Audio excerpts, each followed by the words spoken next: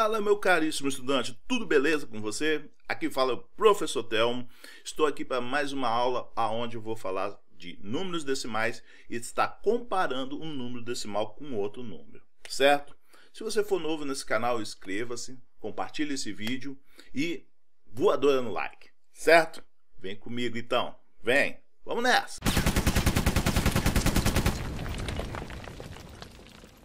Primeiramente, a gente vai começar falando de números decimais equivalentes. Quando um número decimal é igual ao outro. Você consegue ver? Repare o seguinte aqui. Todo número, por exemplo, eu tenho dois inteiros, certo? Se eu acrescentar zero à direita desse número, não modifica ele em nada, ok? Vamos botar aqui, 2,0 ou 2,00. Ele continua tendo o mesmo valor ele não muda, gente. Ok? Então a gente diz que esses números são o que? Equivalentes, certo? Vamos ver outros aqui. Metade, ou 0,5, ou, ou 5 décimos, ou 50 centésimos, ou 500 milésimos, são o mesmo valor. Eles são equivalentes não muda nada. Eu só acrescentei zero. Então, acrescentar zero ou retirar o zero não modifica o número. Zero o quê? A direita desse número, certo? Do número decimal. Repare aqui, ó, 11 inteiros e 20 centésimos. Como que faz isso mesmo? A gente viu lá na nossa primeira aula. Eu vou colocar 11,20, mas eu posso escrever 11 inteiros e 2 décimos. Eu posso escrever também 11 inteiros e 200 milésimos, que vai ser a mesma coisa.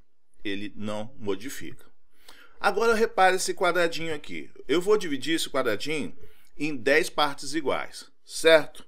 Sendo que eu tenho 6 pintadas e, 6 não, e 4 não pintadas, de 10. Então, 6 estão pintadas. Então, eu tenho a fração 6 sobre 10, que é, equivale a 0,6, ok? Beleza, até aí. Mas se eu pegar o mesmo quadradinho e dividir em 100 partes iguais, certo? Repare que eu tenho a mesma área. Logo, o que, eu vou ter aqui, gente? De 100 partes, 60 vão estar pintadas e 40 não. Então, eu tenho 60 sobre 100, que também equivale ao quê? 0,60 ou 0,6. Reparou que não modificou em nada, que continua a mesma área ali? Então, eu digo que essas frações são o que, gente? Equivalentes. Ok? Então, essas frações são equivalentes e os números decimais também. Então, eu posso estar, tá, se eu aumentar de 6 dividido por 10, botar 60 dividido por 100, ou 600 dividido por 1000, ou 6000 dividido por 10, essas frações não se modificam, elas continuam sendo o quê? Equivalentes a mesmo valor, certo? Assim também vale para os números decimais. Então, pessoal, por que isso aqui é importante? Porque eu quero comparar um número decimal com outro. E às vezes é necessário acrescentar zero para comparar esses dois números decimais. Vamos ver aqui. Por exemplo, qual é a maior? 7,59 ou 7,573? Ou melhor, vamos falar a linguagem correta. 7 inteiros e 59 centésimos ou 7 inteiros e 573 milésimos. Bom, um, uma unidade, vocês podem reparar que uma unidade está em centésimo e outra em milésimo. Então é necessário deixar o que? Na mesma unidade. Vamos colocar todo mundo em milésimos, ok? Aí dá para comparar. Então, o que, que eu faço? Eu vejo o seguinte, iguala as casas. O que, que é igualar? Eu vou colocar um zero aqui. E como a gente viu, não modifica em nada, não é isso? Aí eu comparo no 59 vai virar 590. E aqui eu só repetir, certo? Repare que a parte inteira é igual. E eu então vou comparar quem? A parte decimal. 590 milésimos com 573 milésimos. Qual das duas é a maior? 590 é maior que 573 milésimos. Então eu posso afirmar o quê? Que 7,59 é maior que 7,573. Certo, gente?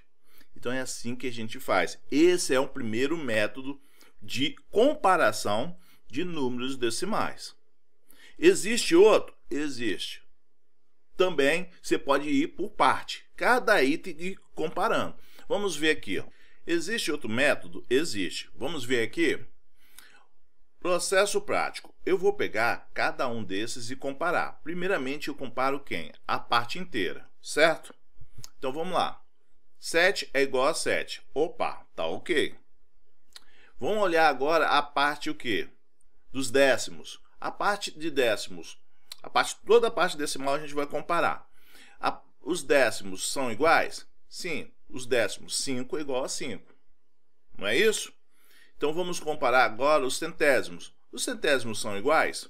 Então vamos ver aqui. Eu tenho o 9 e o 7. O 9 é maior que o 7. Opa! Então eu já sei quem é o maior. O maior é o quê? 7,59.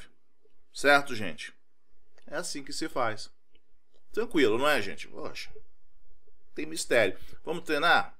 Vamos ver mais aqui? Pausa o vídeo agora, certo?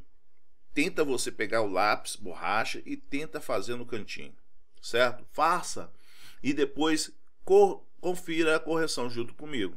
Porque um processo desse aqui, se você treinar um pouquinho, já basta, você aprende de uma vez e não esquece nunca mais. Então vamos lá, gente, vamos fazer aqui.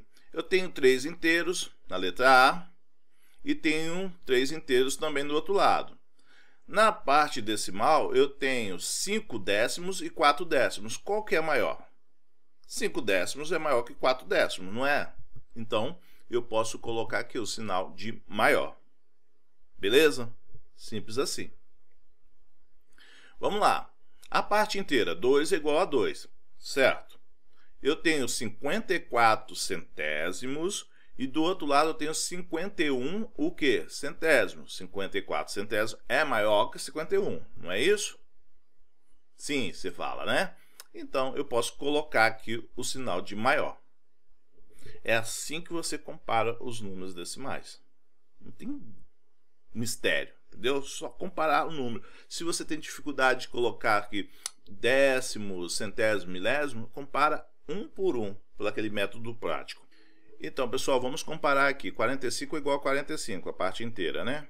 764 milésimos é maior que 762 milésimos, não é isso? Então, eu sei quem é o maior. O maior é 45,764. O último, no último eu acrescento zero, né? Eu tenho aqui 3, a parte inteira é igual, e eu tenho 180 milésimos, e o outro lado eu tenho 174 milésimos. Então, eu acrescentando zero, eu consigo comparar, ó, tá vendo? Então, essa aqui, o 3,18 é maior que 3,174. Feito, gente. Você vai tentar agora pegar esse daqui e fazer no olho, certo? Então vamos lá. Eu tenho 6 a parte inteira e 7 a parte inteira. Bom, 7 é maior. Então de cara você já vai colocar, ok? 7 é maior que 6, então nem precisa olhar a parte decimal. Agora a parte, de, a parte inteira é igual, 19 e 19. Eu tenho o quê? De um lado 241 milésimos e o outro eu vou acrescentar o zero, vai ficar 300 milésimos, não é isso? Então, 300 milésimos é maior que 241. Ok? Aí o sinal é maior. Então, 9, 9, 9, a parte inteira é igual. Eu tenho 28 centésimos e outra parte eu tenho 82 centésimos. Certo? Então, 82 centésimos é maior que 28, não é isso? Então, eu, esse aqui que é o maior. Na letra D eu tenho 6 de parte inteira, certo? Que é igual nos dois lados. E de um lado eu tenho 300 milésimos e outro 3 décimos. Como eu falei, 3 décimos e 300 milésimos são o que, gente? São partes decimais semelhantes, não é isso? Então, eu posso afirmar que esses dois aqui são o que? São iguais. Beleza? Então, tá feito. Galera, vou ficando por aqui. Eu espero que vocês tenham gostado dessa aula rápida de números decimais, em comparação de números. resolvi gravar aulas mais rapidinhas, menos demoradas, certo? Se você está gostando desse estilo de aula, comente aqui embaixo, deixe aqui seu comentário, faça aí o compartilhamento nos vídeos. Se você não gostou, deixa um dislike, comente aqui também, certo? Vou ficando por aqui, um abraço e até a próxima. Valeu!